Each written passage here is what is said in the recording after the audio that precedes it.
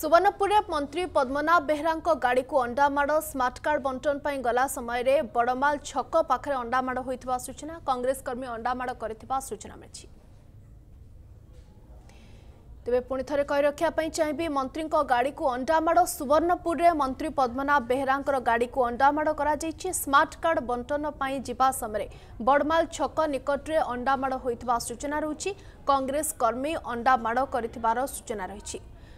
ମନ୍ତ୍ରୀଙ୍କର ଗାଡ଼ିକୁ ଅଣ୍ଡାମାଡ଼ ହୋଇଛି। ସୁବର୍ଣ୍ଣପୁରରେ ମନ୍ତ୍ରୀ ପଦ୍ମନାଭ ବେହେରାଙ୍କ ଗାଡ଼ିକୁ ଅଣ୍ଡାମାଡ଼। ସ୍ମାର୍ଟ କାର୍ଡ ବଣ୍ଟନ ଯିବା ସମୟରେ ଅଣ୍ଡାମାଡ଼ ହୋଇଥିବା ସୂଚନା ରହୁଛି।